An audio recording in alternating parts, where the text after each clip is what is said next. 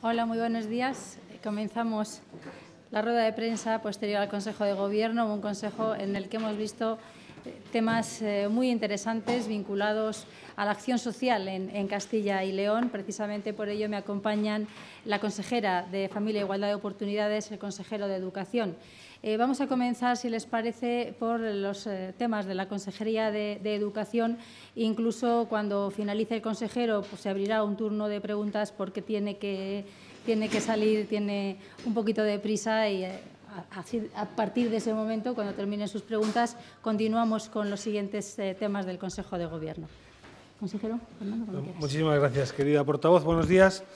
En el Consejo de Gobierno eh, hoy se ha aprobado el acuerdo de la Consejería por el que se autorizan las aportaciones dinerarias a las cuatro universidades públicas de Castilla y León por valor de 80.455.000 906 euros, con un reparto de cantidades que son las que figuran ahí. Eh, se trata de una cantidad importante y, como saben, eh, las universidades públicas de Castilla y León están muy bien eh, financiadas, en el sentido de que no solamente están ya saneadas su deuda histórica o están en vías próximamente de, tenerlo, sino que además cierran todos, todos los años con superávit económicos. Pero vamos, el gran, el gran tema, el gran acuerdo que, ha aprobado el, Consejo de Gobierno tiene que ver con el plan, segundo plan de atención a la diversidad de la educación de Castilla y León para el, quinquenio 2017-2022. ¿Qué es un plan de atención a la diversidad? Permitidme que recuerde aquí a mi tío Mariano, mi tío Mariano Rey, que era un señor de Palencia, de Cívico de la Torre, sordomudo, en la época. Eh, no fue nunca atendido. Y de hecho, él pasaba algunas temporadas en un sitio que para mí es muy, muy afín, que es el Monasterio del Prado, donde yo ahora mismo estoy trabajando. Yo mismo de niño recuerdo haberle ido a visitar. No estaba ahí todo el tiempo, sino periódicamente, porque nadie eh, en ese momento, en los años aquellos, eh, procedía a, educarle de ninguna manera al sordo-mudo. ¿no? Eh, finalmente murió atropellado por el tren. Hemos pasado, en cuanto a la diversidad, por varias, por varias fases. Una de ellas es el abandono. En los periodos de, mi tío, pues la inmensa mayoría de las personas que tenían alguna mm, variedad respecto a, lo que se consideraba normal no tenían ningún acceso a la educación, acaso puntual, caritativo, muy limitado. Hubo una segunda fase en la que se pasó del abandono a la segregación se empezó a trabajar con los escolares con alguna dificultad o con alguna diversidad, eh, pero juntándoles a todos, todos los niños eh, con discapacidad auditiva juntos, todos los niños con discapacidad visual juntos y siempre muy separados del resto de niños. Este segundo modelo de segregación dio paso a un tercer modelo que era el de integración, que es el modelo del primer plan de atención a la diversidad, el que tuvimos entre 2003 y 2007. Se trataba de que los niños que eran diferentes, con capacidades diferentes, se asemejaran, lograran asemejarse a los niños normales. Entonces se empezaron a atender puentes, pero siempre de un modo no sistemático, de un modo no, no potente. Ahora estamos en otro modelo completamente de atención, de comprensión de nuestro sistema, que es el de la inclusión, la escuela inclusiva. O sea, hemos pasado del abandono, la segregación, la integración a la inclusión. Y en el modelo de inclusión, nuestros 350.000 escolares no universitarios son diversos. Todos ellos son diversos. Evidentemente, este plan va a poner el foco y la prioridad a los eh, escolares que ahora mismo llamamos eh, alumnos con necesidades de atención educativa especial, que son en torno a 30.000, un poquito menos del 10%. 30.000 alumnos diariamente en Castilla y León son atendidos de modo ejemplar. También quiero felicitar el trabajo magnífico que hacen profesionales del sector público, de la escuela pública, pero también de la concertada. Para que os hagáis una idea de la complejidad, solo voy a deciros rápidamente, cuando decimos niños, por ejemplo, escolares eh, que son niños con algún tipo de discapacidad o capacidad diferente, solo por ver las categorías, para que veáis. Discapacidad física, tenemos 1.015 niños, intelectual 2.583, auditiva 392, visual 153, trastornos del espectro autista tenemos 977, retraso madurativo 633, trastorno de la comunicación 271, trastorno grave de la personalidad, solo para, de modo para que veáis la complejidad de lo que estamos ah, hablando, 56, también porque quiero traerlos aquí y ponerlos delante. ¿no? Pues estos niños no, no se ven, em, parece que no son tantos, son muchos y son muy importantes, porque un sistema educativo es más civilizado cuanto mejor trata a los niños con dificultades específicas. ¿no? Plurideficientes, 742. Tenemos en niños escolares con altas capacidades, 734. Escolares con trastorno por déficit de atención y o hiperactividad, tenemos 3.943, casi 4.000. Un tipo de, conducta, de trastorno que ni siquiera se conocía hace 10, 15, 20 años. ¿no? Tenemos, y por supuesto estamos prestando a cada uno una atención específica. Estos son los ACNES. Los alumnos ANCES, los necesitados de compensación educativa, son eh, 7.421. Ahí están los que se incorporan tarde al sistema educativo, los que tienen especiales condiciones sociales, minorías étnicas con algunas dificultades, los alumnos con dificultades de aprendizaje y, y malos resultados académicos, 12.500, o los inmigrantes con desfase curricular, etcétera alumnos, bueno, se me olvidó antes mencionar a los alumnos con síndrome de Down, que son ACNES, tenemos 235 en la comunidad. 30.000, 30.000 alumnos, más o menos, a los que hay que dar una respuesta. Bien, eh, ¿por qué este plan?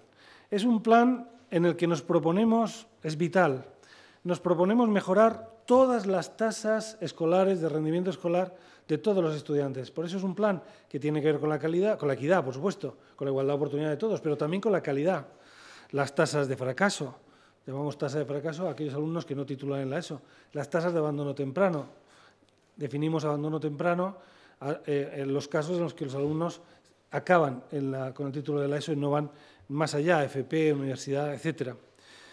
Ah, en segundo lugar, porque queremos promover la cultura de la inclusión, de tal manera que los alumnos estén con otros alumnos eh, en el mayor desarrollo posible de su itinerario educativo. Eh, fijaros que además también la cultura inclusiva forma parte de una competencia que va a medir el informe PISA del año 2018, que es la competencia ciudadana. Queremos también potenciar la formación de nuestros profesores de todo el profesorado. Claro, en el modelo de integración había centros especiales con profesorado especial y había centros ordinarios con alumnos ordinarios. Ahora, por supuesto, va a seguir habiendo alumnos, eh, profesores de educación especial altamente formados y expertos, pero también todos los profesores del sistema van a tener que tener conocimientos para manejar eh, situaciones de educación especial, porque durante un tiempo van a tener alumnos de educación especial, como ya en alguna medida se tiene, y cada vez más, sobre todo en fases muy tempranas. En total, este plan em, comprende 54 millones de euros de aquí hasta el año 2022. De ellos, casi 33 millones y medio va a ser para incrementar la dotación de profesorado de atención a la diversidad. Ahí están claramente los orientadores, cada vez más necesarios. En este momento tenemos 525 orientadores en todo el sistema. Vamos a aumentar la, ratio de los orientadores para que haya uno por cada 500 alumnos en el medio urbano.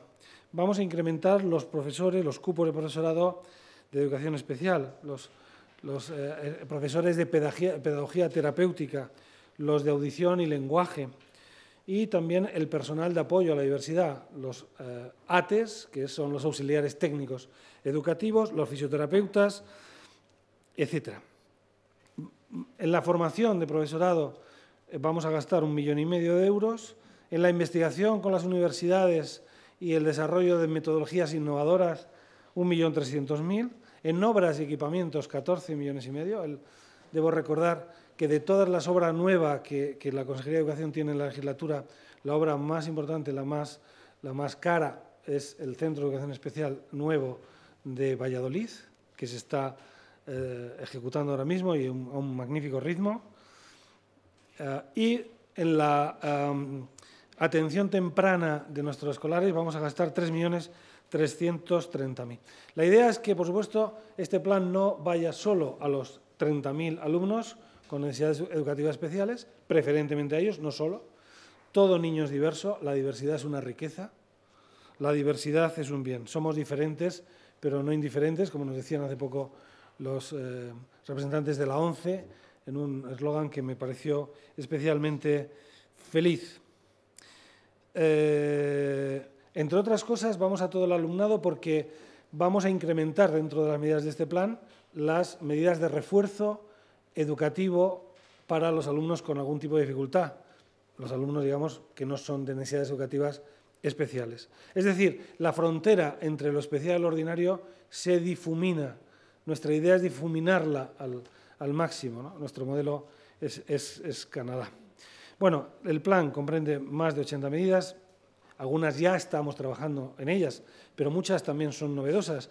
He, citado antes, y voy acabando ya, la bajada de, las ratios profesor-alumno, el incremento de profesores orientadores, PTs, de audición y lenguaje y ATES, la creación de más aulas de educación inclusiva en escuelas ordinarias, porque tenemos, como sabéis, centros de educación especial en las, capitales de provincia, en medio rural no tenemos centros de educación especial, para niños que requieren una atención específica, mm, altamente cualificada, con una dotación, un equipamiento muy especial.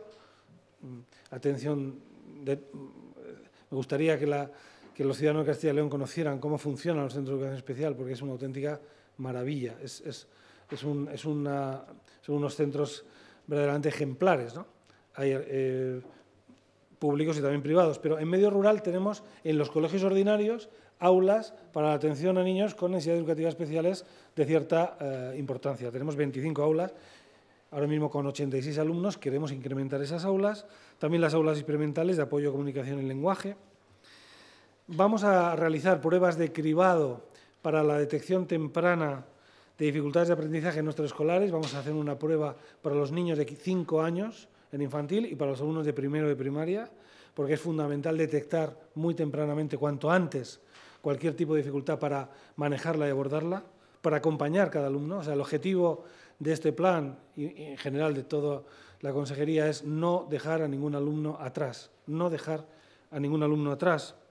Y es clave detectar muy pronto las, posibles diferencias, problemas que pueda haber para atajarlos, abordarlos.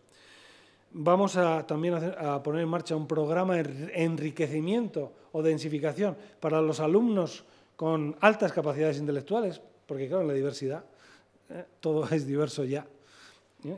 Mm, vamos a mejorar la cualificación eh, profesional del alumnado con discapacidad intelectual, sobre todo lo que llamamos el TVA, la transición a la vida adulta, y conectándolo mejor más con la formación profesional, con los niveles de cualificación de grado 1.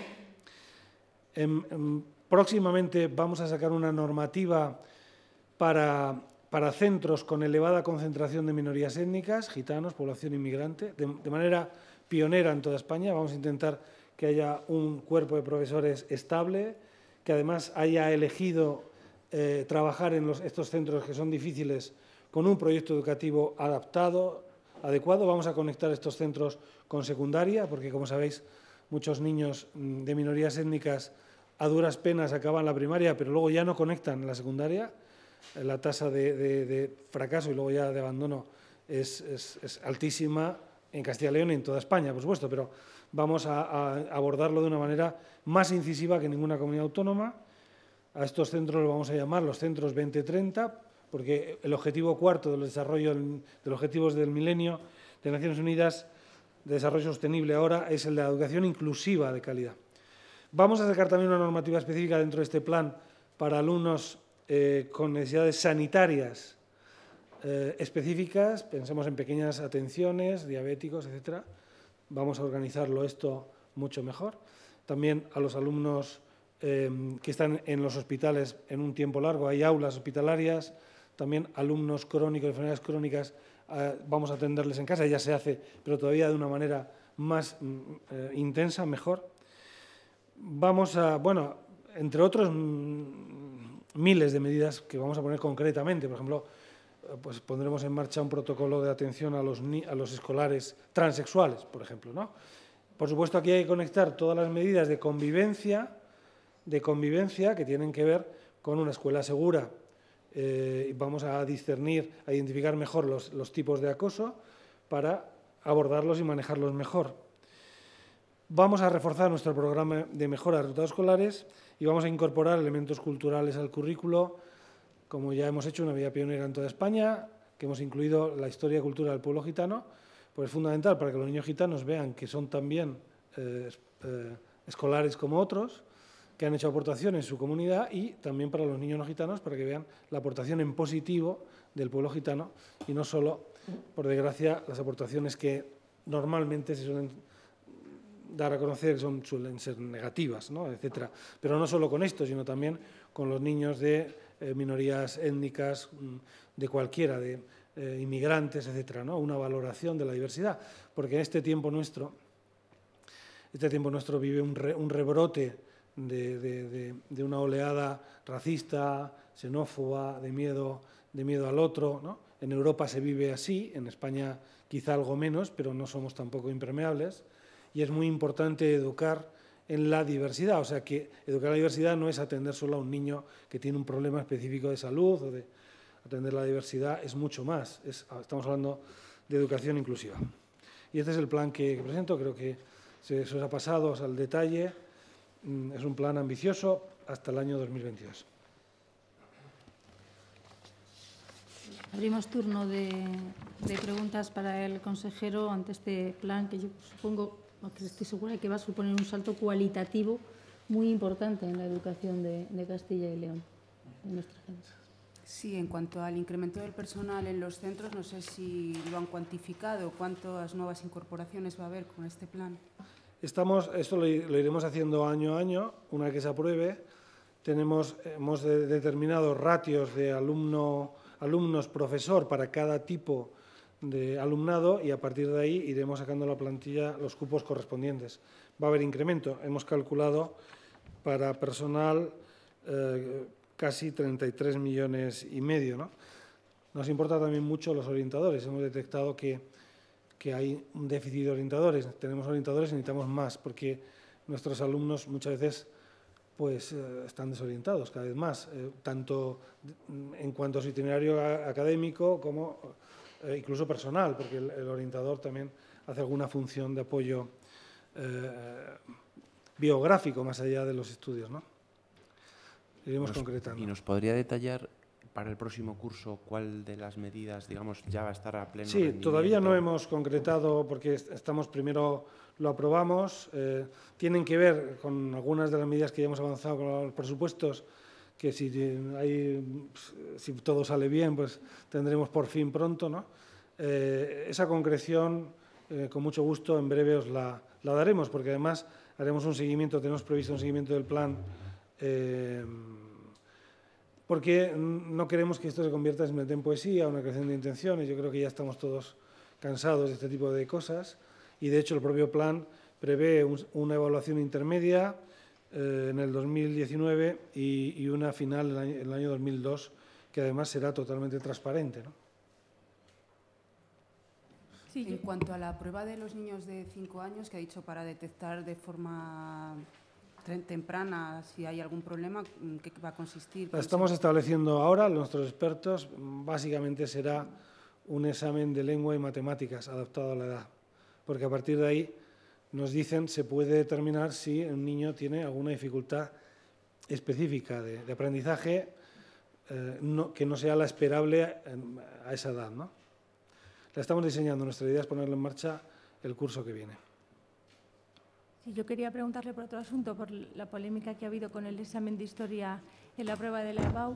No sé si la Junta puede o va a tomar alguna medida para bueno, ayudar a los alumnos, que los 4.000 alumnos del campus de Valladolid que no habrían hecho el examen en equidad de condiciones con el resto. Bueno, me alegra mucho que, me haga esta pregunta. De repente la prueba de historia de España de la EBAU se ha convertido en, un asunto muy importante que efectivamente ha movilizado la, indignación de muchas personas y por eso es importante aclarar qué ha ocurrido exactamente. ¿no? Es importante tener todos los datos porque...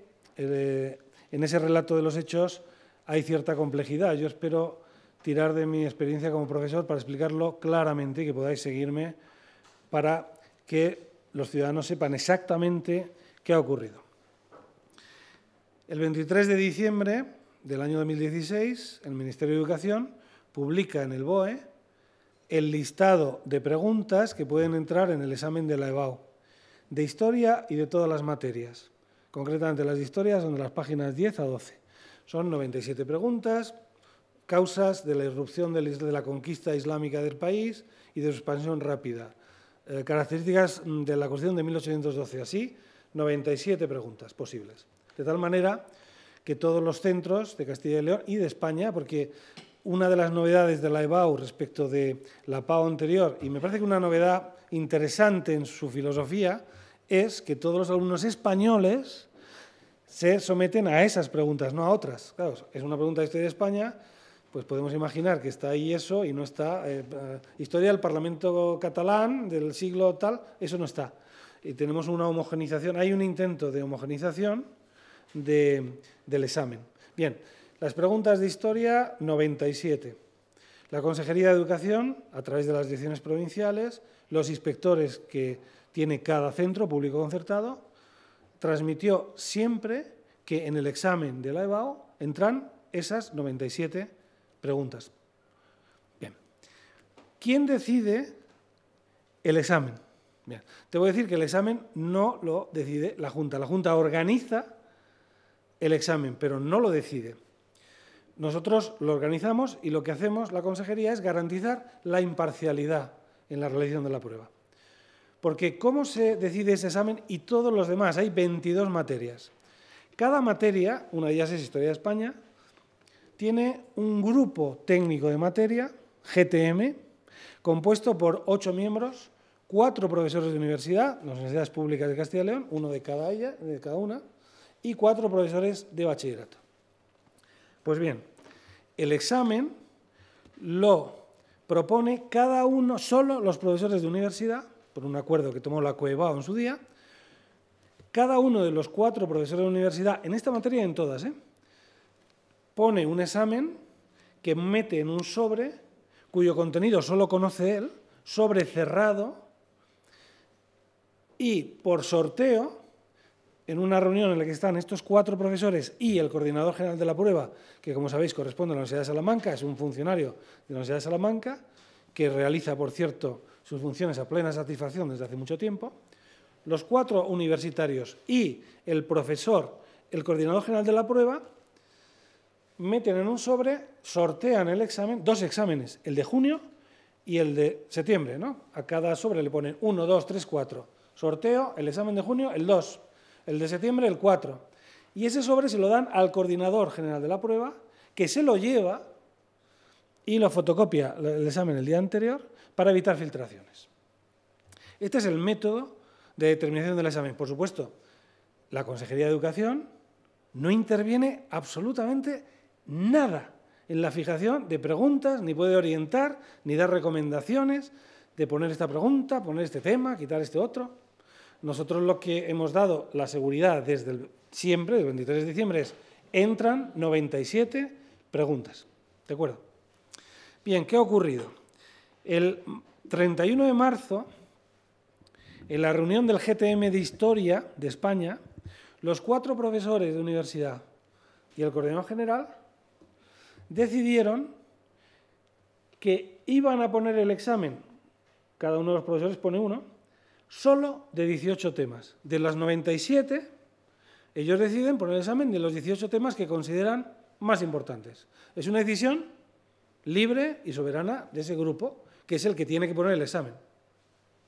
Nada que objetar. De hecho, nosotros, ni, la consejería, ni siquiera nos enteramos de qué criterios utilizan. Utilizaron ese, nos parece bien. ¿Qué ocurrió? Pues ocurre que a partir de esa fecha, el 31 de marzo, la consejería en un momento determinado conoce que ese criterio, que no es efectivamente la concreción de las preguntas, las cinco preguntas que han entrado en el examen, pero que ya es un criterio muy relevante a la hora del examen, es un, es un, criterio que forma parte de la puesta concreta del examen. Claro, no es lo mismo estudiar 97 temas, que son bastante extensos, que estudiar 18. Tenemos, digo, conocimiento de que ese examen circula en algunos institutos, en algunos. tampoco nosotros estamos en condiciones de determinar en cuántos, en cuáles, en algunos, fundamentalmente del distrito de Valladolid. Porque debo decir, recordar una y otra vez, que esta es una polémica importante, pero que afecta sobre todo a Valladolid y algún sitio más. Y ahora entenderán ustedes por qué. En otras, en otras provincias no ha planteado ningún problema. ¿Por qué se plantea un problema en Valladolid? Porque efectivamente el criterio de que solo eh, eh, las preguntas a examinarse sean 18 temas, lo filtra uno de los cuatro profesores de la Universidad de Valladolid. Y sabemos perfectamente que es el de la Universidad de Valladolid porque lo ha dicho él en declaraciones a la prensa, aparte que tenemos algunos otros elementos probatorios. Esto es muy grave. Es una filtración del examen. Es una filtración gravísima. Y anuncio que estamos estudiando entablar acciones legales contra este profesor. Ya veremos exactamente de qué tipo, si disciplinario o incluso penales. Porque evidentemente hay un deber de reserva sobre este tipo de, de asuntos. ¿no? No se puede filtrar un examen. Por más que se diga, no, es una recomendación, no, no es una recomendación. Está diciendo, oiga, solo entran 18. Claro, ¿qué ocurre? Que este señor ha confesado que se lo ha dicho a algunos centros, pero no a todos. Por supuesto, los otros tres profesores que forman parte del grupo técnico de materia de universidad no revelaron nada, han cumplido con su deber, o por lo menos no nos consta lo contrario. Ha sido una filtración ilegal de este profesor. Cuando nosotros, la consejería, tomamos tenemos conocimiento de que se ha filtrado el examen, lo ponemos en conocimiento del grupo técnico de materia, porque nosotros no podemos sustituir el examen ni suplantar. El procedimiento es que el grupo técnico de materia decida qué hacer a continuación. El grupo técnico, por supuesto, el grupo técnico de materia decide eliminar el criterio de que solo entren de esos 18 temas. Evidente. Si no lo hubieran hecho así, tendríamos que anular el examen, porque habría habido muchos alumnos de bachillerato que no sabían que entraban solo 18 temas. La inmensa mayoría habría estudiado 97. Se hubiera generado una discriminación intolerable y una arbitrariedad de un tamaño descomunal. El grupo técnico de materia se reúne, ya a esas reuniones ya no viene este señor, claro. En fin, yo no sé si, si los compañeros se fiarían mucho ya de él, pero él decide no ir, en fin, yo, ya lo que haga él o no, eso lo iremos depurando, eh, vamos a exigir la responsabilidad. Eh, este grupo técnico de materia decide cambiar de criterio. No obstante, como nosotros conocemos todo esto y se había generado una cierta polémica, el día 1 de junio, como ustedes saben, porque sus medios provinciales y regionales, mm, casi todos se hicieron eco de nuestro desmentido, dijimos, en el examen entran los 97 temas de, materia. Que entren solo esos 18 temas es falso, falso, rotundamente falso. Pero es que no solo a través de los medios de comunicación, sino, por supuesto, son nuestros centros. Nosotros tenemos los mecanismos internos de comunicación. El portal de educación, donde está la página y sigue colgado ahí el desmentido, desde el día 1 de junio o 2 de junio, en fin, en cuanto tuvimos conocimiento de estos hechos, y también dimos instrucción a los directores provinciales para que ordenaran a los inspectores jefes, por tanto al cuerpo de inspectores, para que informaran a los centros de que no, había, se había alterado, de que esa regla de los 18 temas era falsa y por tanto todo el mundo tenía que estudiar los 97 temas, que es lo que, que es lo que hemos dicho siempre. Esta es exactamente la situación. Entonces, ¿qué ocurre con algunos alumnos que dicen, eh, es que a mí me han dicho en mi colegio, en mi instituto, que solo entraban estos 18 temas.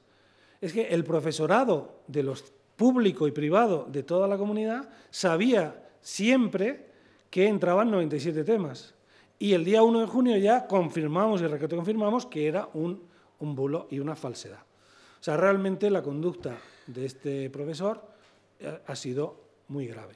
Por tanto vamos a proceder a depurar responsabilidades pero ciertamente la información estaba disponible, no se puede alegar ignorancia invencible, o sea, realmente el que no se ha enterado, pues es que no me explico por, por qué no se ha enterado, porque tendría, tiene todos los elementos para saber una cosa tan sensible como esta qué ocurría.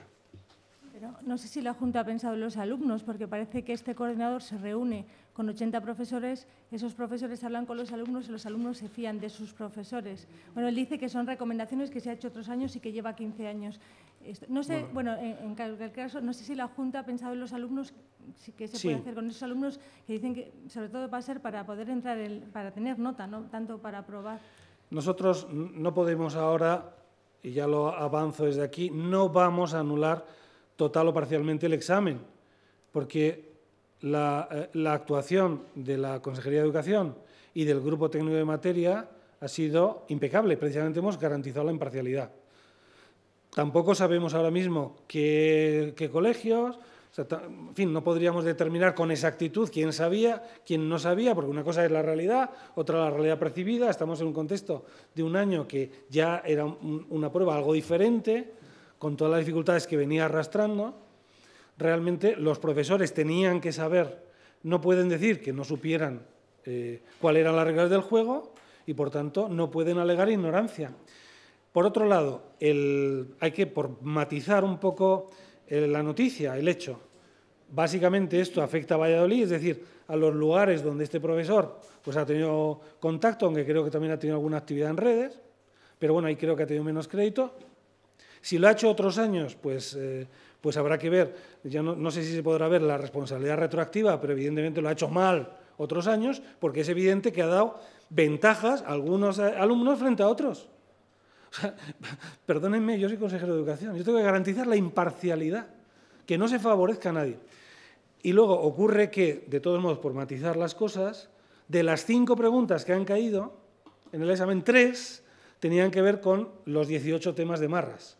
O sea, eso ya es una responsabilidad del Grupo Técnico de Materia, pero el Grupo Técnico de Materia, yo creo que una solución bastante prudente, pues no ha excluido esos 18 temas. De hecho, de cinco preguntas, tres pues significa que incluso una persona que hubiera estudiado estos temas podría haber incluso sacado nota, lo cual mm, perjudica, bueno, podría eventualmente decir, bueno, y otros, pero el grupo técnico de materia establece las preguntas con libertad en esta materia y en todas las demás.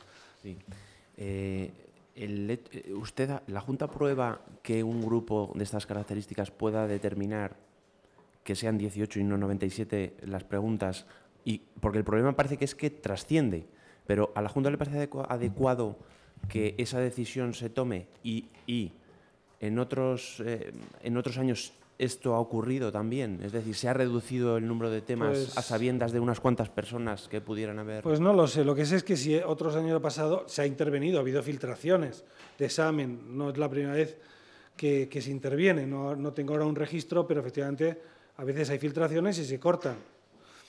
Eh, a nosotros, como consejería, desde el punto de vista normativo, jurídico, no hay ningún, ningún eh, obstáculo para que el grupo técnico de materia, que es el que determina el examen, fije los criterios que quiera, porque confiamos en los profesores.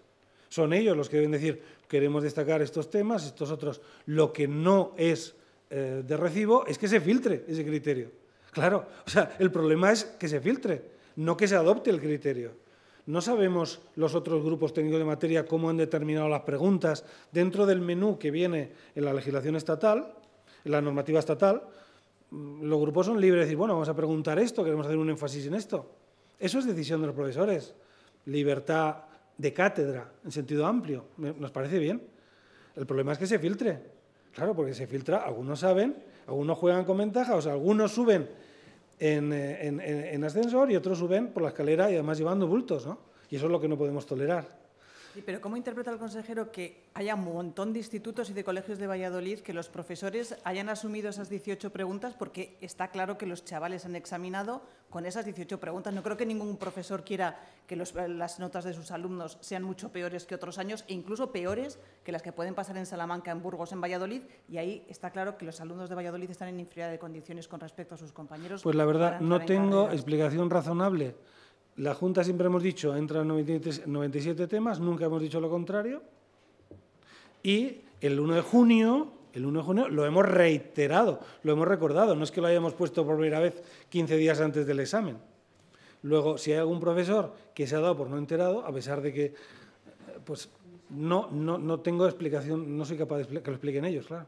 Luego, otra cosa, eh, se habló de bulo y ahora se está hablando de filtración, porque en su momento no se habló de que se había filtrado el examen. No. Se habló de que era un bulo y, no- y a lo mejor si se hubiera hablado de filtración desde el principio las cosas hubieran quedado más claras, creo yo. Bueno, era, era un bulo y era una filtración. En ese momento nosotros también, cuando tenemos, eh, estamos hablando, en, en marzo fijan el criterio, nosotros tenemos conocimiento de esto a finales de mayo, el 1 de junio eh, tenemos la, la nota, lo que nos importa es que la gente vaya al examen con toda tranquilidad y con toda seguridad. En ese momento tampoco teníamos todos los elementos que ahora tenemos de conocimiento sobre quién filtró, etcétera.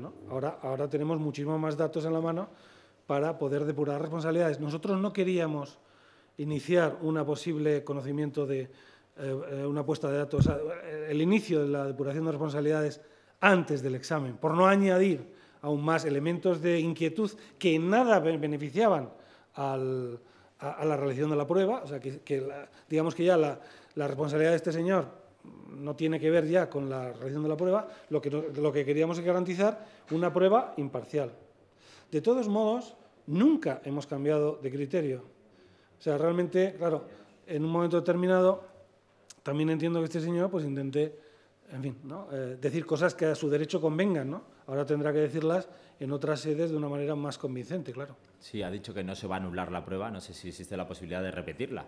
No, no, no vamos a repetir ni anular. Los alumnos tienen la posibilidad de recurso individual. Si alguien considera, eh, ahora me gustaría ver cómo fundamentan, o sea, a lo mejor, o sea, eh, cómo fundamentan un- una eventual reclamación o contra quién. ¿no? Yo no puedo, no puedo hacerme responsable en este caso de profesores que eh, transmitan una información falsa cuando tienen todos los elementos en la mano para transmitir una información veraz. Pero, consejero, la información no era falsa. O sea, habían los, los, los, los participantes en el grupo habían decidido efectivamente que eran 18, que, Sí. que eran 18. Es decir, eh, por eso le planteamos la diferencia entre bulo y filtración. Es decir, la consejería da por bueno que ese acuerdo existía. Sí, no lo conocíamos. Pero, hemos conocido pero ahora. nos ha dicho que, ex- que, que Sí, existió, existía. existió. Entonces, eh, eh, quizás ahí esté la, la- la- la- la diferencia, ¿no? Entonces, yo no sé si por ahí puede haber una vía efectivamente de, de- de recurso. ¿En qué sentido? No, no, le, pla- le planteo. No, no, no acabo de verlo. Efectivamente, eso es un acuerdo, hay una filtración, tenemos conocimiento de la filtración y eliminamos el- ese, ese examen porque si, si hubiéramos seguido con él es entonces cuando tendríamos que haber anulado todo el ejercicio, claro. ¿Se dan cuenta? O sea, precisamente para no anu- anularlo, en todo caso nosotros, en la consejería, lo que podemos hacer es exactamente lo que hicimos, que es comunicarlo al grupo técnico de materia para que ellos decidieran y han decidido correctamente. Por otro lado, con bastante prudencia, porque como digo, de cinco preguntas, tres tienen que ver con esos 18 temas que se ve que son sustancialmente muy importantes. ¿no? Se transmitió como tal filtración a los inspectores. Es que yo sigo sin entender cómo es posible que un montón de profesores de Valladolid no hayan dicho a sus alumnos que, ojo, estas preguntas no son, son más. Es que de verdad que no, no lo, no, no Sí. lo puedo entender. Sí. Algo ha fallado en la cadena de información desde la Junta de Castilla y León hasta los alumnos. Está claro, porque puede pasar en un colegio o en un instituto, pero en todos, Bueno, en todos no ha pasado. prácticamente. ¿eh? No, eh, también hay que tener en cuenta, claro, la percepción. Estamos hablando de alumnos, un examen, la percepción, un examen como la PAU o la EBAU. En fin, mm, eh, luego tenemos que ver. A mí me parece que un criterio interesante será comprobar exactamente las notas de este año respecto de otros años. Habría que hacerlo con carácter general y habrá que verlo aquí. Pero si el día 2 de junio yo te invito, les invito a que vean la hemeroteca, que escuchen las radios, el día 2 de junio dijimos, entran 97 exámenes. Pero es que desde el 2 de junio está en el portal de educación. El portal de educación tiene un apartado dedicado a la EBAU, donde se establecen los criterios, las reglas, se ha ido actualizando. Ese, digamos, el portal oficial, la guía oficial de, la prueba. Y allí ya, el día 1 de junio, hemos dicho, no es verdad que entren solo 18 temas. Hay algún, y, algún eh, profesor dice, no, ¿y si es que no me entran? Pues yo tampoco me lo explico, lo tendrán que explicar ellos. Pero yo no puedo explicar cuando, quiero decir, eh, cuando pones todos los elementos que tienes que poner, y si hay algún caso en el que no se ha enterado, pues ten- tendríamos que ver por qué no. Porque efectivamente ellos podían y debían conocer cómo era la prueba, los criterios de la prueba. Sí, eh, hay algunas comunidades autónomas que no, no han aplicado a rajatabla eh, la ley porque los profesores se habían quejado de que era muy exigente ese temario tan amplio de 97 temas y por eso a lo mejor las 18 recomendaciones. No sé si otras comunidades no lo han hecho, al final están en desigualdad de condiciones, los alumnos de Castilla Sí, en realidad no, no conocemos. eh, eh, aquí sobre esto circulan, como pueden imaginar, muchos bulos, en otros sitios más fácil, en otros sitios no sé qué. Tendríamos que comprobarlo eh, científicamente, eh, ver si es verdad. En principio, aquí en Castilla y León tenemos esa extraña manía de cumplir las normas. Eh, eh, eh, e incluso si son vienen de- de, digamos, del Estado español, pues nos gusta especialmente más, además. ¿no? Era el poco tiempo que había desde que sale la norma hasta que se produjo el examen. ¿no? Que los profesores No, dicen que no, hasta abril no 23. 23 de diciembre diciembre, tienen sí. el temario. Sí, pero dicen que hasta Que marzo no corresponde pudieron- al- que hasta marzo no tienen las directrices. No, no, del- no, no, no, no, esa era una directriz interna que no tenía que haberse conocido. ¿Entienden? O sea, no, no, eh, o sea, lo que entra en examen lo saben los alumnos el 23 de diciembre, que además coincide con el temario que tienen que enfrentar en segundo bachillerato. No hay ninguna novedad.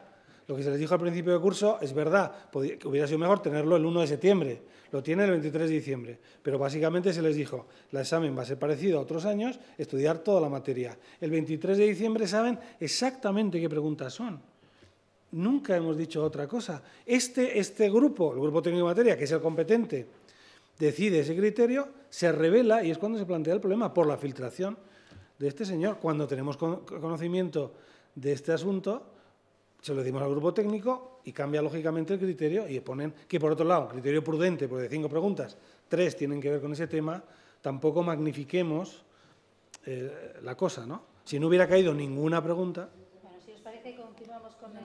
Sí, un, un segundín. una- que ha habido una llamada generalizada desde la Federación de Asociaciones de Estudiantes para que todos los alumnos que se hayan visto afectados y que consideren que su nota ha bajado, una vez que la conozcan, en relación a, a esas discrepancias en el examen de historia, que re- presenten recurso. Si hay un bombardeo de recursos por parte de sus alumnos, ¿se podría cambiar la opinión de no repetir, ni modificar, ni cambiar nada? No, porque ese examen lo han hecho en condiciones de igualdad todos, de imparcialidad todos. Si lo cambiáramos, perjudicaríamos a los alumnos que han tenido buena nota. O sea, que es que aquí cualquier alteración tiene consecuencias ecosistémicas, claro. Es cierto que el profesor en cuestión habría presentado su dimisión, no sé si hace una semana, si no se le habría admitido. Esa noticia ha corrido también, no sé si es así. Si no lo sé, ha hecho unas declaraciones, la verdad es que es lo que vamos ahora a depurar. En fin, que, en fin, como mínimo tendría que haber, en mi opinión tendría que haber sido cesado, pero es verdad que hasta que no conozcamos los detalles exactos de su conducta, no podemos determinar las responsabilidades. ¿no? Es lo que nos proponemos hacer inmediatamente, ahora que ya han acabado las pruebas. Y, y de cara al año que viene, ¿va a haber algún cambio que prevenga este tipo de circunstancias? El próximo año, como saben, los alumnos de primero bachillerato ya tienen una seguridad sobre cómo va a ser la prueba, porque la normativa, el decreto ley aplicable nos dice que mientras no haya una nueva ley educativa, se aplicará interinamente esta, de tal manera que tienen, supongo que habrá a lo mejor una actualización, una pequeña modificación de los temarios ahora disponibles, será sustancialmente equivalente, o sea, ahora van a tener una seguridad. El procedimiento va a ser el mismo, el procedimiento de concreción de las pruebas funciona, funciona razonablemente bien, es el que siempre se ha utilizado. Funciona tan bien que somos capaces de evitar que un profesor cometa una ilegalidad y una arbitrariedad impresionantes. Muy bien, gracias, consejero. Continuamos con el, con el Consejo de Gobierno, con el resto de temas. También un tema muy importante para la acción social en, en Castilla y León lo va a presentar la consejera de Familia e Igualdad de Oportunidades. Se trata de la primera estrategia de prevención de la dependencia para personas mayores y promoción del envejecimiento activo. Muchas gracias, portavoz. Muy buenos días a todos y a todas. Eh, ¿Para qué es esta, esta estrategia? Eh, queremos seguir avanzando en la calidad de atención y en la calidad de vida a nuestras personas mayores para prevenir la dependencia El porqué de, este de sacar ahora la primera estrategia de Castilla y León. En primer lugar, porque consideramos que es muy importante el paso que hemos dado, decisivo, de llegar prácticamente a la plena atención eh, de nuestras personas mayores dependientes. Hemos conseguido en, este en estos últimos dos años, desde julio del 2015, incorporar a los dependientes de grado 1 23.200 nuevos dependientes al sistema, el que se han incrementado el número de personas dependientes en estos dos últimos años un 37% y se han incrementado en un 40% las prestaciones concedidas, eh, lo que suponen casi 31.000 prestaciones más también. Eh, por lo tanto, partimos de esta situación en la que consideramos que es muy oportuno el poder dar este paso, el seguir avanzando y mejorando la calidad de vida de las personas mayores, apostando decididamente ahora, en esta ocasión ya, por, por la prevención, fundamental para retrasar la dependencia, lograr un envejecimiento activo y también por alcanzar una autonomía durante personal más duradera en nuestras personas mayores. La estrategia la hemos eh, elaborado con una amplia participación y consenso de las entidades que trabajan en este ámbito, de las entidades que están integradas en la sección de personas mayores del Consejo de Servicios Sociales. También lo hemos participado con CERMI, que han incorporado aportaciones, también con universidades y con el clúster CIVI. Y es una estrategia que está dirigida eh, y que va a beneficiar a las casi 600.000 personas de 65 y más años de Castilla y León, a las familias, a los cuidadores de las personas mayores en situación de dependencia y, en general, a toda la sociedad. ¿Cómo la hemos elaborado? Pues hemos hecho un análisis muy exhaustivo de la situación de las personas mayores en Castilla y León. Hemos trabajado también con otras estrategias, tanto nacionales como internacionales, y podemos destacar unos datos que consideramos relevantes que Castilla y León cuenta con el mayor índice de envejecimiento de España. El 24,4% de la población tiene 65 o más años, porcentaje que en 2050 aumentará hasta el 31%. La esperanza de vida es de las más altas de España y del mundo, con 83,65 años, por encima de la media estatal, situada en 82,7. En Castilla y León, además, el envejecimiento es fundamentalmente rural casi el 55% del total de las personas mayores de 65 años vive en el medio rural. Y quiero destacar entre estos datos uno que considero muy significativo, referido a la soledad de las personas mayores, que señala que el 23,2% de las personas mayores de 65 años de Castilla y León viven solas en su hogar. Y la proyección de cuántas personas mayores de 65 años eh, en el año 2031 vivirán solas, este porcentaje prevé que se alcanzará un 33,2%. Pero sí que es verdad que dentro de estos porcentajes hay que tener en cuenta que el aumento de la autonomía residencial, es decir, la autonomía de vivir solas, es consecuencia también de las mejoras en las condiciones de salud y también de la independencia económica. Pero, sin duda, esto se puede traducir en una mayor vulnerabilidad eh, frente a situaciones de fragilidad o de necesidad de ayuda. Esta estrategia, eh, eh, a partir de esta realidad que hemos analizado, pues va a desarrollar un nuevo modelo para la prevención de la dependencia, basado en la atención centrada en la persona, que promocione su autonomía, su autodeterminación y que a su vez también priorice las preferencias de las personas mayores. También contempla acciones dirigidas hacia el entorno para hacer posible el desarrollo de entornos amigables eh, y la creación de espacios también de participación en el ámbito asociativo. La estrategia cuenta con más de 1.950 millones de euros para todo el periodo 2017-2020, de los que más de 390 millones de euros se destinan, corresponden al año 2017, para desarrollar 98 acciones agrupadas en dos grandes áreas temáticas, siete ejes estratégicos y ocho experiencias innovadoras que hemos querido también incorporar en la estrategia experiencias innovadoras en esta materia. Eh, por lo tanto, la estructura, de esta estrategia, de este plan, se organiza en dos grandes áreas. La persona, eh, con actuaciones para promover el desarrollo integral de las personas que envejecen y los entornos, actuando allí donde interactúan las personas mayores y que sin duda va a repercutir en su desarrollo integral y en su calidad de vida. En el área temática de las personas hay cuatro ejes que tienen 57 actuaciones. El primero es la prevención, la promoción de la autonomía y la autodeterminación de las personas mayores, que busca que las personas mayores sean protagonistas en la planificación de su itinerario vital una vez que surge a partir de su jubilación. Incluye 15 acciones, pues facilitar la transición de la vida laboral a la jubilación, orientándole, acompañándole o bien proporcionando su permanencia en el entorno laboral. También acciones de orientación para dar continuidad a sus proyectos de vida. El desarrollo de una red de buenas prácticas de atención a las personas mayores con deterioro cognitivo en los centros para las personas mayores. Aspectos éticos de buen trato. Desarrollo de programas de atención a personas con discapacidad que envejecen. El segundo eje es el de la mejora de la calidad de vida de las personas en su proceso de envejecimiento, con acciones de anticipación que retrasen las situaciones de, dependencia o minimicen sus efectos.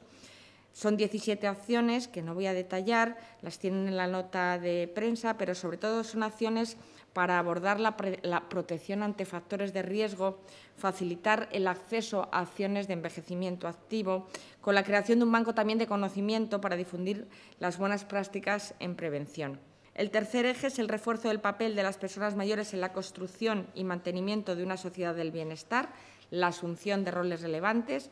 Este eje parte de considerar a, los mayores como una, fuente de experiencia vital y de apoyo los mayores tienen mucho que aportarnos y eso es, un eje central en la estrategia. Incluye 13 acciones para impulsar su papel como consultores, para aprovechar su experiencia, también para visibilizar eh, su, esencial labor en la colaboración social, porque son muy activos en, el voluntariado, por ejemplo, iniciativas para facilitar también la participación en el diseño de las políticas dirigidas a ellos y apoyar también a la red asociativa.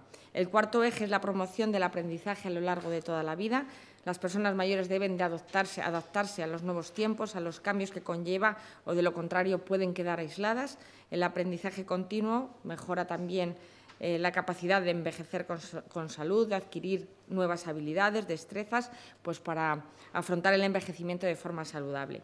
Son 12 acciones, pues revisar y adaptar los programas de aprendizaje actuales para adaptarles a los nuevos perfiles de las personas mayores, el acceso a la universidad, eh, la integración de cursos universitarios reglados, facilitar también el acceso de los mayores que vivan en el ámbito rural, el acceso a actividades de, aprendizaje continuo. El segundo área temática es el de los entornos, que son 51 acciones agrupadas en tres ejes. En primer lugar, el apoyo al entorno sociofamiliar y cuidados de proximidad, sin duda, el deseo de las personas mayores es permanecer cuanto más tiempo en su, domicilio, es una constante en todos los estudios y por eso las 14 acciones que contempla este área del apoyo al entorno sociofamiliar se orientan medidas eh, que permitan a las personas mayores envejecer en casa con calidad y también medidas de apoyo a los familiares cuidadores, como el asesoramiento en el cuidado, en la prestación para el final de la vida, en la preparación para el final de la vida, servicios de apoyo, respiro, acompañamiento del voluntariado.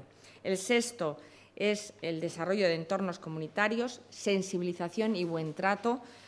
Incluye 13 acciones diversas, muy importantes, por ejemplo, garantizar la atención de emergencia desde los servicios sociales ante situaciones de riesgo. Hoy hemos conocido durante estas últimas semanas noticias en otras comunidades autónomas eh, de situaciones de abandono de personas mayores en centros hospitalarios, pues se aborda en esta estrategia precisamente garantizar a través la atención de emergencia desde los servicios sociales ante situaciones de riesgo. Desarrollar actuaciones dirigidas también a cuidadores, a familiares, a profesionales que promuevan el buen trato la difusión del Comité de Ética, así también como la incorporación de la perspectiva de edad en el programa Violencia Cero. El séptimo es el fomento de los entornos accesibles y amigables, entornos eh, favorables al envejecimiento. Hay 14 acciones, eh, sobre todo la incorporación de ciudades y pueblos de Castilla y León a la Red Mundial de Ciudades Amigables, coordinada por la OMS, etcétera.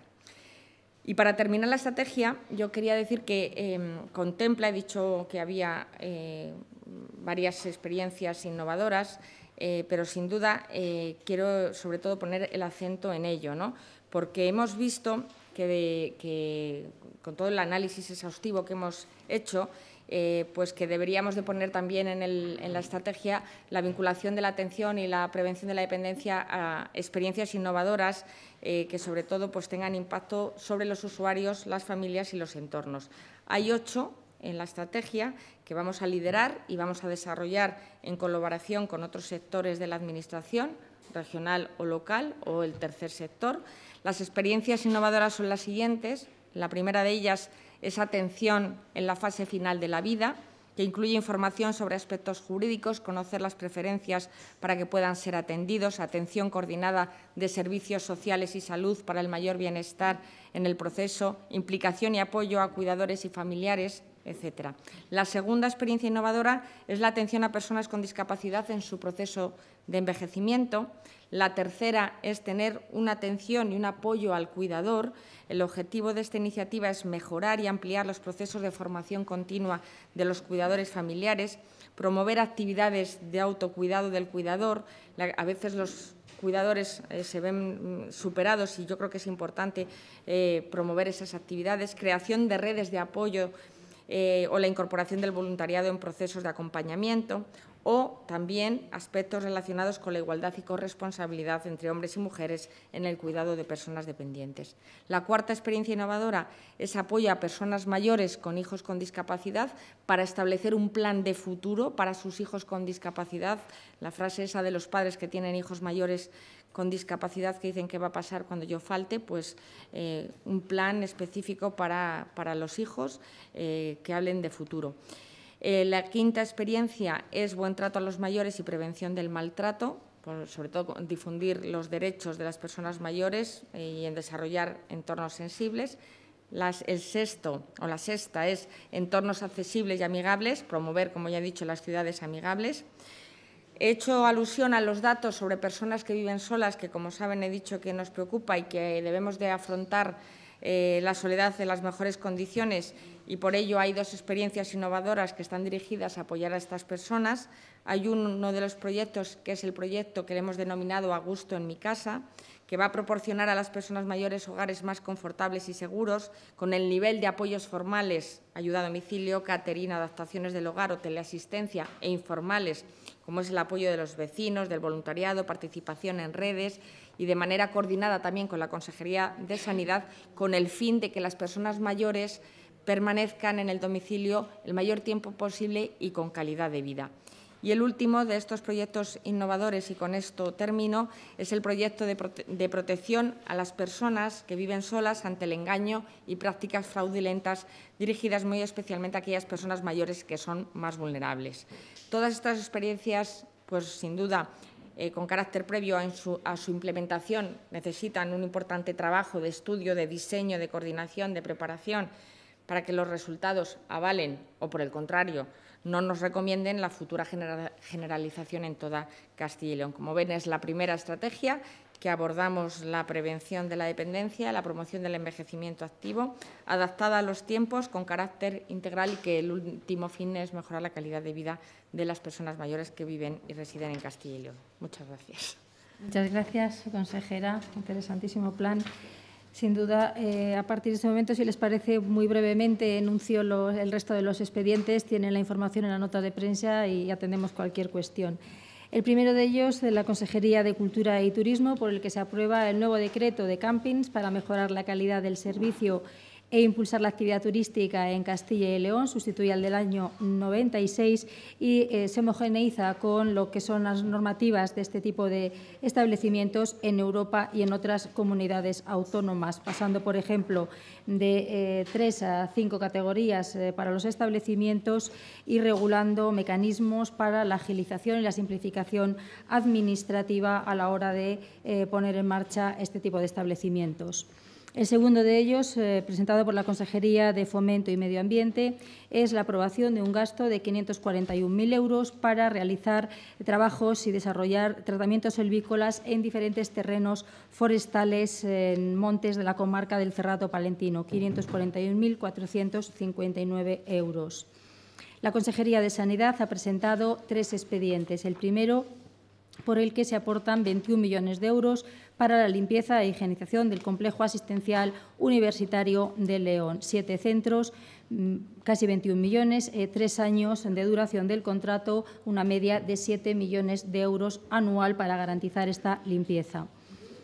El segundo de los expedientes de la Consejería de Sanidad es para mm, suministrar endoprótesis vasculares en el complejo asistencial universitario de Salamanca durante un año, 392.823 euros y el tercero eh, para financiar el programa de atención integral al médico enfermo en el año 2017 con 30.300 euros que se subvencionan al Consejo de Colegios Oficiales de Médicos de Castilla y León. Programa PAIME, como saben, que el año pasado atendió a 60 médicos castellanos y leoneses que necesitaron de este servicio. La Consejería de Presidencia ha presentado dos expedientes para su aprobación por el Consejo de Gobierno. El primero de ellos para la contratación del mantenimiento de todas las instalaciones de la sede de la Consejería de la Presidencia, 368.904 euros, duración del contrato 24 meses y el segundo para subvencionar con 6.000 euros a la Fundación Española Antonio Machado a fin de promover acciones de protección y desarrollo sostenible en la naturaleza y difundir la Agenda 2030. Estos son los expedientes eh, que ha aprobado el, Consejo de, Gobierno esta mañana. Como ven, eh, dos importantes eh, planes vinculados con el impulso que se quiere dar y ese compromiso que la Junta de Castilla y León tiene con las personas desde el ámbito de lo social, con la inclusión y la igualdad eh, de todos y cada, uno en el ámbito educativo y con esa apuesta importante por el, sector de las personas mayores, no solo cuando necesitan atención eh, concreta, sino desde la fase preventiva. Y ahora cualquier cuestión o pregunta que quieran plantear. Sí, podríamos empezar, consejera, por Nissan, que parece que hay buenas noticias, hay un preacuerdo. Eh, ¿Ustedes van a estar pendientes del seguimiento? ¿Cómo van a intervenir? Hemos estado pendientes eh, en todo, en todo momento, como no podía ser de otro modo, desde que se conoció eh, la opción que parecía única en su momento, que era cerrar la fábrica y que eh, desapareciera el, empleo. Por lo tanto, con ese cierre en el que se empezó a trabajar con los responsables en el plan industrial, que es el que se ha puesto encima de la mesa para garantizar el futuro del empleo, el futuro de la factoría en Ávila en una acción transformada en este momento respecto a lo que era el origen. Lo primero es eh, agradecer, sin duda, el esfuerzo de los trabajadores, el compromiso en esta negociación que están llevando a cabo con la alianza eh, Nissan-Renault y que eh, ha derivado, yo creo que en buen puerto en este momento. Es una buena noticia este preacuerdo, este acuerdo de los trabajadores, toda vez que va a permitir, como digo, en el futuro que los 470 puestos de trabajo se sigan manteniendo que además eh, haya un periodo de formación que mayoritariamente se va a desarrollar en la provincia de Ávila, que era algo que no estaba contemplado en inicio y que eh, siga esa actividad de forma importante en los mismos eh, términos también desde el punto de vista laboral en que lo están el resto de los trabajadores que ya forman parte de esa alianza Renault-Nissan en otras provincias de la comunidad autónoma. Por lo tanto, mm, consideramos que es una buena noticia y desde luego ese agradecimiento expreso a los trabajadores eh, por el esfuerzo en la negociación y el haber eh, sido llegado a este, a este punto en el que, junto al plan industrial, hay garantía de actividad y del 100% del, del empleo conservado en la provincia de Ávila. Eh, sí, también por seguir con temas de actualidad esta semana, eh, tras la segunda citación al ex, al ex consejero de Economía, Tomás Villanueva, eh, tanto PSOE como Podemos como el propio Ciudadanos piden responsabilidades al presidente Herrera. Eh, dos partidos piden la dimisión y Ciudadanos, que su socio de gobierno, pide también algún tipo de responsabilidad. No sé si han estudiado este asunto del Consejo de Gobierno, si Herrera va a comparecer otra vez, ¿qué va a ocurrir? Vamos a ver, eh, conocen perfectamente la posición. Desde luego, el Consejo de Gobierno eh, se ha dedicado a todos los temas que han visto esta mañana. Eh, lo que está en sede judicial es responsabilidad de los órganos judiciales. Inmiscuirse en este tipo de acciones ni aporta ni beneficia absolutamente a nadie. Desde luego, lo que es razonable y todos los ciudadanos entendemos es que lo primero que hay es que depurar las responsabilidades penales. Y si todavía no se han depurado responsabilidades penales porque están iniciadas iniciándose en muchos casos las declaraciones de personas eh, en, esta, en sede judicial, lo que hace falta es eh, respetar a la justicia en primer término y respetarla eh, supone dejarla trabajar, dejarla actuar y no inmiscuirse en cada fase del procedimiento. Por lo tanto, es la justicia quien tiene que depurar estas responsabilidades. Lo que esperamos es que lo haga cuanto antes y que realmente quien eh, tenga esa responsabilidad eh, pague si es que hay responsabilidades que, depurar. Que pague lo que ha hecho. Lo hemos repetido en varias, en varias ocasiones. ¿Qué pasa con las responsabilidades políticas? Primero las responsabilidades penales, luego ya hablaremos de responsabilidades políticas. Fíjese, estamos en una fase de investigación. Una vez que se derive eh, la, investigación, una vez que finalice la fase de instrucción, habrá una fase de, procesamiento. Eh, cuando terminen todas estas fases, eh, habrá que ver si hay responsabilidades, si hubo responsabilidad política o no la hubo. Por lo tanto, no creo que estemos en un momento en el que haya que depurar nada más que lo que determinen los jueces y tendremos que respetar los tiempos de la justicia, aunque en ocasiones nos parezcan extremadamente prolongados. Eh, creo que hay que respetar, en primer, término, lo que, diga la justicia y dejarles actuar. Y, desde luego, mm, el estar eh, cada día con alaracas y, diciendo y eh, pidiendo responsabilidades que todavía no corresponden, pues no creo que contribuya en nada a la resolución de los problemas pasa es que al anteponer las, las, eh, decisiones judiciales a las políticas, eso implicaría que, que algunos casos en los que ha habido gente que ha dimitido, que ha sido destituida, eh, digamos que se hubiera actuado de manera precipitada. la fase, la eh, fase en la que se destituye está escrita. Sí, pero me refiero, ¿se refieren a que sean condenados, a que estén, tengan un procedimiento abierto, a un juicio oral? Creo que fue la semana pasada cuando les leí expresamente en qué momento eh, la ley eh, de Castilla y León establece eh, que es el momento de asumir y depurar responsabilidades políticas para quienes forman parte del Gobierno regional, para quienes forman parte de los órganos de responsabilidad política en la Junta de Castilla y León. Una ley, el Estatuto del Alto Cargo, que no tienen todas las comunidades autónomas. Por lo tanto, está muy claro eh, cuál es el momento procesal en el que eh, se asumen este tipo de, responsabilidades, que es cuando se abre el juicio oral. Pero creo que fue la semana pasada cuando, cuando lo mencionamos aquí mismo. Eh, sí, consejera, por favor. Usted ha dicho en este caso de la supuesta trama eólica que era una trama entre personas y empresarios. Al estar investigado ahora un ex consejero y ex vicepresidente que lo era, ¿sigue manteniendo lo mismo? Mire, lo que dice, lo que dijo la fiscal en su momento eh, y, conocimos por los medios de comunicación fue sobre lo que eh, pudimos eh, manifestarnos en su momento. El proceso sigue abierto, vamos a seguir y vamos a esperar a que sea la justicia quien determine quién tiene que mm, dar cuenta de, y ser responsable y quién es responsable y quién no. Por lo tanto, vamos a dejar actuar a la justicia. Eh, cada paso que dé la justicia eh, no la vamos a estar comentando. Creo que no debemos porque no, le haríamos ningún favor precisamente al ámbito judicial. Por lo tanto, ese respeto a la justicia, a las acciones judiciales, pasa por eh, estar a lo que determinen y no mm, comentando cada, fase del procedimiento.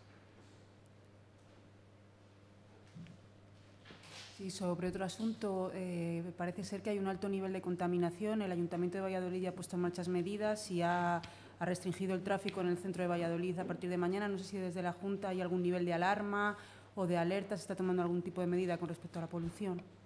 No, realmente son las corporaciones eh, municipales, el ayuntamiento quien tiene la competencia, quien hace las mediciones y quien en función de esos criterios técnicos tiene que adoptar las medidas. Por lo tanto, pues las medidas que adopte la, el, ayuntamiento son las que se deben aplicar. respecto al debate del Estado de la Comunidad, no sé si han solicitado fecha desde la Junta. No, aún no se ha solicitado fecha, pero lo razonable, lo que va a ocurrir es que la próxima semana eh, se producirá el debate para la aprobación de los presupuestos y eh, lo que sí que les puedo anticipar es que en el periodo ordinario de sesiones se celebrará el, debate de política general una vez aprobados los presupuestos. Hay que esperar a que se aprueben los presupuestos y el periodo de sesiones finaliza el 30 de junio. Por lo tanto, pues en ese, en ese margen se, se, se desarrollará el debate. ¿Alguna cuestión más? Sí, podríamos... eh, eh, hoy se ha conocido, ha publicado el Norte, creo, ¿no? Eh,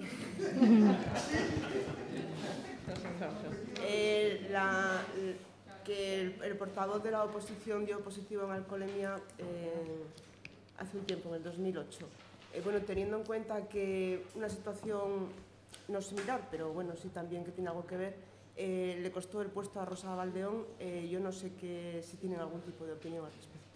Yo le he dicho que no voy a juzgar a nadie que cuando lo tengan que juzgar otros y tampoco lo voy a, lo voy a hacer en este caso, hombre. Además no tengo ningún elemento de juicio para eh, dudar de la, de la coherencia de- del señor Tudanca y simplemente lo que puedo hacer es remitirme a las palabras eh, que él mismo pronunció en el momento en que ocurrió un suceso con eh, una persona, una procuradora en las Cortes Regionales, la vicepresidenta del Gobierno en ese momento. Él se refería a que eh, las personas que estamos en el servicio público debemos ser cuidadosas y ejemplares en ese momento y estoy segura de que lo mantendrá y además reclamaba que abandonara el escaño por respeto a los ciudadanos. Decía literalmente que eh, una conducta irresponsable, como es ponerse al volante de un vehículo después de beber alcohol, eh, debe tener una, una- una respuesta. Por lo tanto, no puedo más que remitirme a sus palabras y no dudar para nada de su coherencia.